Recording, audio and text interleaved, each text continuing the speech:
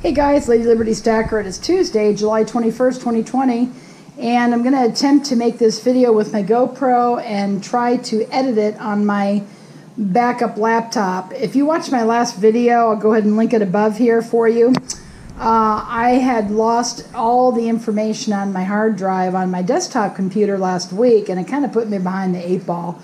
I had a lot of it backed up in different places, a lot of my information, but I had to kind of scramble. But one of the things I lost were some video clips that I was going to edit to make a video. Uh, luckily, it wasn't any any of this stuff that you see before you, but I didn't get a chance to make this video.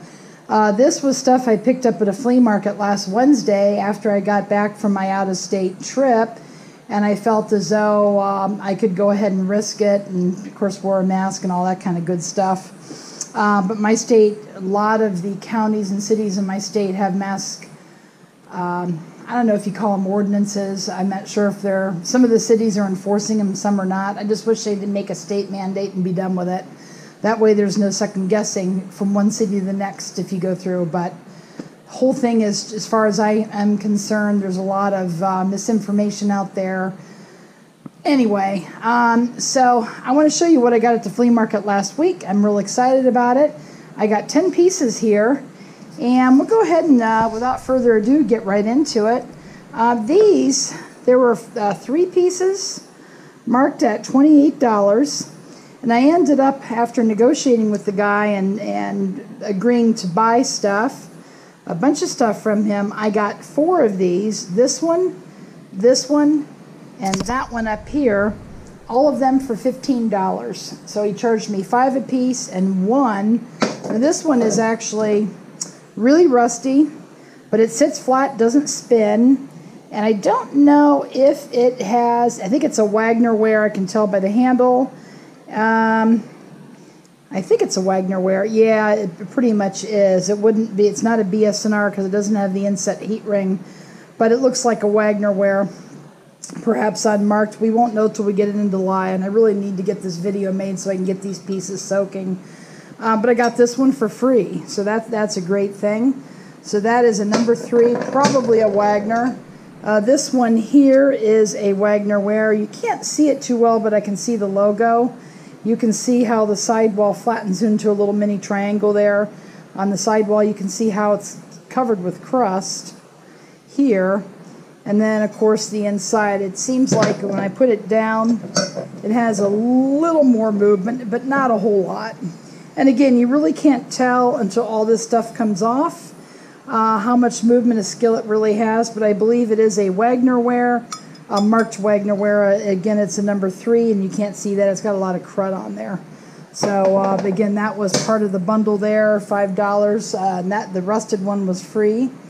Then this one is another marked Wagner ware. It's a 1053Q.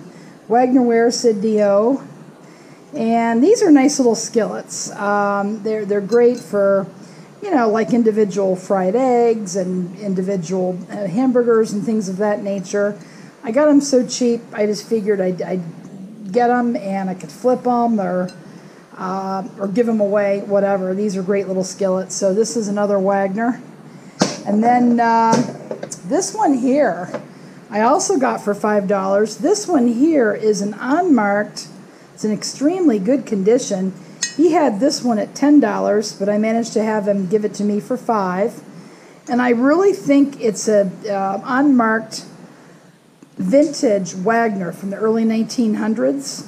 It's got the outset heat ring. I sold one like this, and you can tell if you take the price tag off.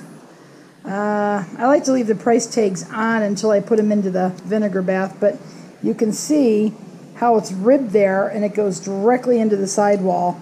I had a Wagner like that, but it was marked. I should go back and look at the pictures of it because I did sell it and see if the markings are the same. It's got a teardrop handle here on the, uh, and then it's got a three. But anyway, it's interesting. I like pieces that are different, so I think that is an antique Wagner. Okay, next up is, let me see what I wanted. The rest of the pieces get better as we go along. I'll show you this one. This is a griddle. This is the first piece I saw. Um, my normal guy wasn't there last week, and, and I managed to get, well, before I show you this, let me, well, no, never mind. I'll go ahead and show you this one. This is a double griddle, and it looks like a, you know, an old vintage, somewhat rusty double griddle. It's fairly flat, doesn't have any cracks from what I can see. He had it marked at, oh, I don't know, I think it was like 30 or $40 and it's got a gate mark here and a gate mark here. And it's got some character pitting on the back. And the reason why that happened is they used sulfur back in the day I think to at the foundries or they used sulfur when cooking on the stovetops. I think that's what it was and that's why a lot of these old pieces will will look like this actually I, I kind of like the look it makes it gives it a lot of character but I ended up getting this piece for, I think, $15. I got them down to $15.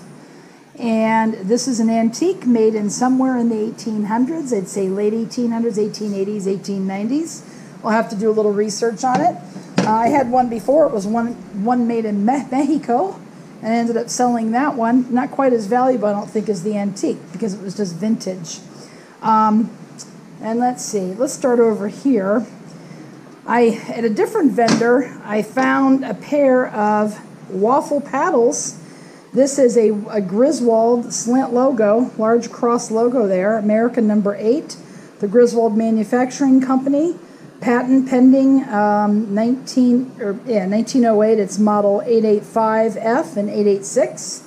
And a friend of mine, and you know who you are if you're watching, has the base for this. So I will be talking to you about that. Uh, these are in really, really good condition. I picked them up for 35 bucks.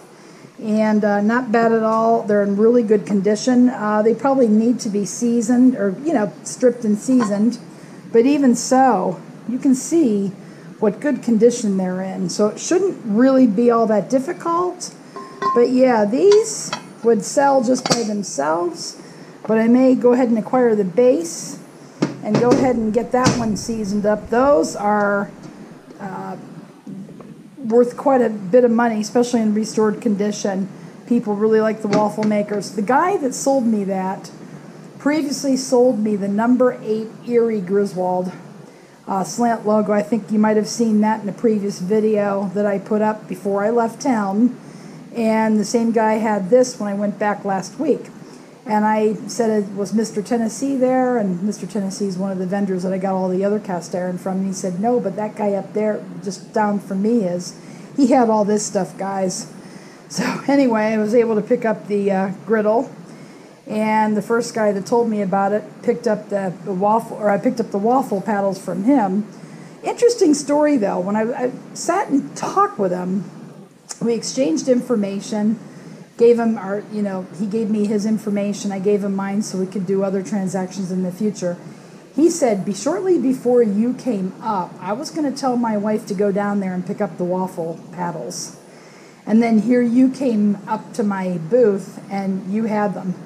So he was actually going to get those. So I beat him to the punch. So that was a really good deal on those. Um, then finally, for the other ones here, we have a Griswold he had this marked at 18. I managed to get him down to 10 on this one. I think it was 10. I tried to get him to 8, but I got him to 10. And it is a small logo, number 3. It's in really good shape. It's going to clean up great. And this has some mill work, mill finish in the inside. Uh, this one's a really nice one. We'll put it down, and it sits flat. Um, so it looks pretty good. And then we have a couple larger skillets. This is a number eight. National, if you can see that with the star maker's mark. I think that's kind of neat with an exterior heat ring. It's very, very old.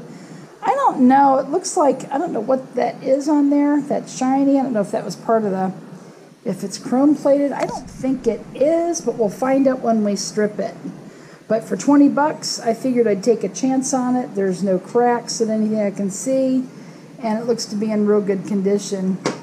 Um, next we have a Griswold number seven, small logo. These are great cookers. This one here again is another great skillet. No, uh, no spin, no spin, no cracks from what I can see. And uh, yeah, these are good sellers too. They don't get as much as the, as the large logo because the collectors really go for those. But uh, it should make a decent money, and I paid 20 bucks for that too. He had it marked at 30. Still not a, even 30 isn't a bad price for that one. Not really. Uh, I the first one of these I saw was in an antique mall about three years ago, and he and he had it priced at I think 65 or 70, and and not even as good a condition as this. And I never bought it. Took them months to sell it too. Then finally, I think the, one of the most valuable ones here is a number four. This is a seven inch skillet.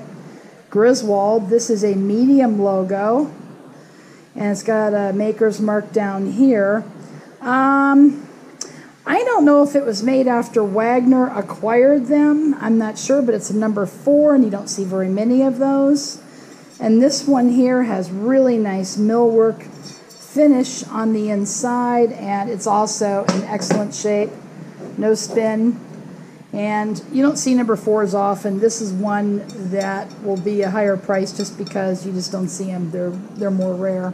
So at any rate, yeah, I got all all of this though, and I averaged sixteen dollars a piece when you figure the total price that I paid. And there are ten pieces here. There's five and ten. So real happy. So we have our Wagner, antique Wagner, and the three. I assume they're all, those are marked, that's marked. I'm, I'm assuming the rusted one is, but I got it for free. That averages into the, the price point in all of them. The Griswold 3, Griswold 4, Griswold 7, National, and it might have been a Griswold company, I'm not sure. I think it was. I think they made this line for the, uh, or the uh, department stores. It was an economy line, but I'm not sure. I have to look it up. Uh, this is on memory uh, the Griswold number eight, and the antique 1800s griddle. So, anyway, guys, uh, its video is long enough. Okay, okay. I'm gonna have to edit that out. I thought it stopped recording. The video video is long enough. I'm gonna stop now. But anyways, if you uh, like videos like this, please remember to give me a thumb up. Please leave a comment or question below. Please hit the subscribe button if you haven't already subscribed. Hitting the thumbs up is so important because it helps my video and Anyway, it does help my videos show higher in search, so people that are interested in videos like this will have a chance to see it because of the recommendation and the algorithm on YouTube. Again, guys, thanks for watching, and go make it a great day.